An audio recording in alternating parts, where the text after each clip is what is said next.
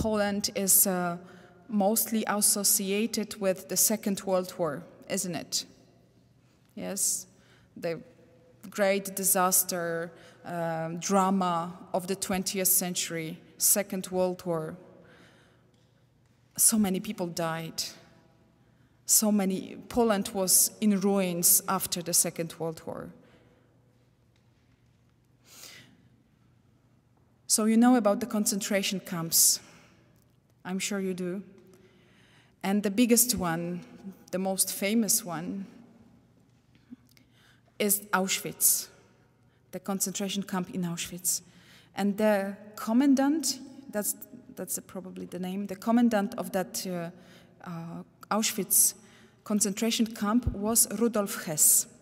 Also famous man, but not famous because he did something good, but because he was so bad, so evil. And those who survived Auschwitz used to call him an animal. They wouldn't say he, is a, he was a bad man. He wasn't a bad man, he was an animal. And one day, uh, they took um, the whole community of Jesuit, fa Jesuit fathers from Krakow. They took all of the brothers and fathers to Auschwitz. Uh, only the superior was not at home at that very moment of that wasn't kidnapping. You know they simply i, I don't know the, the, the, exact verb to express it but it was uh, quite normal that they used to you know enter and take the people they wanted to auschwitz for some reason.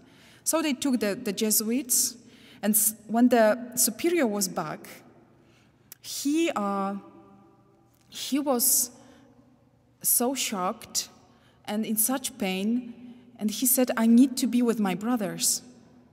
So he, by himself, you know, without any pressure, it was his decision, he decided to go to Auschwitz to be with his brothers.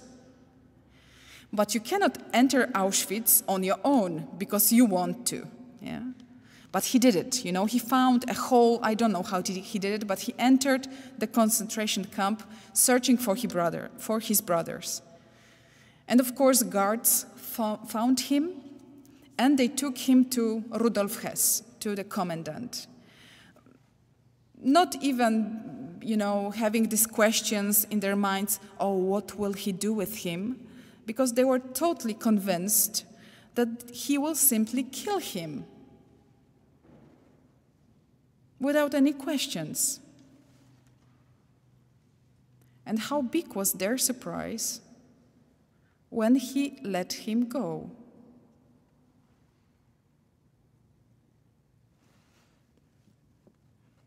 Simple like that.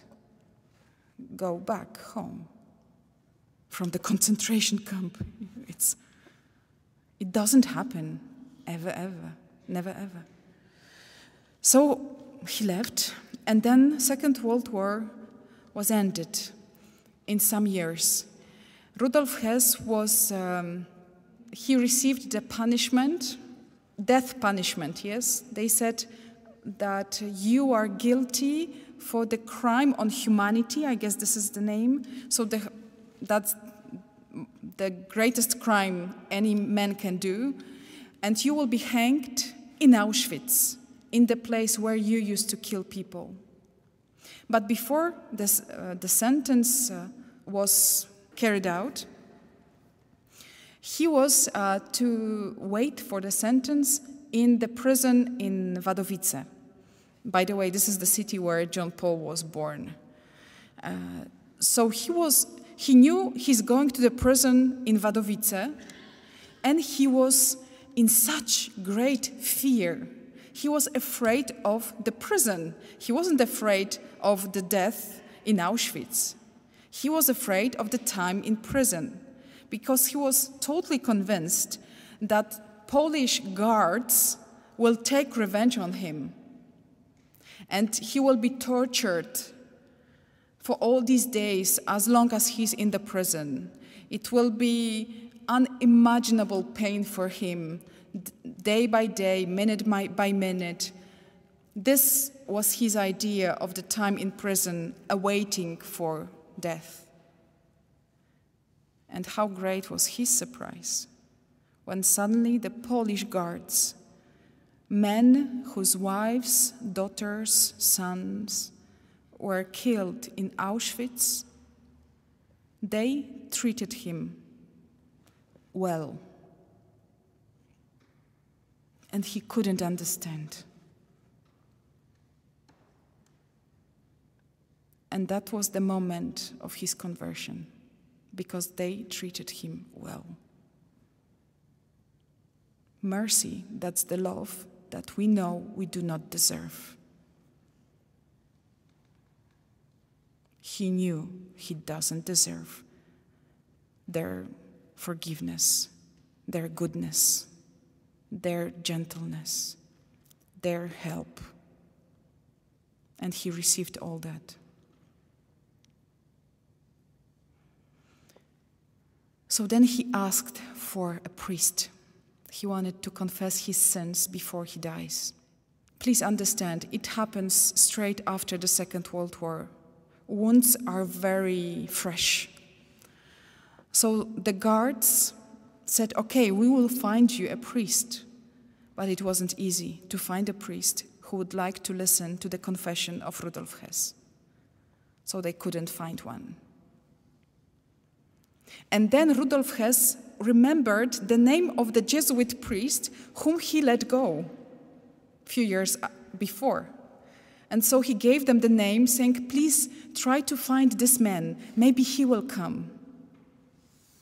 And so they found him in the Shrine of Divine Mercy in Krakow, where we are stationed. He was our chaplain at that time. And so he went. He said, Okay, I will go. And he listened to his confession.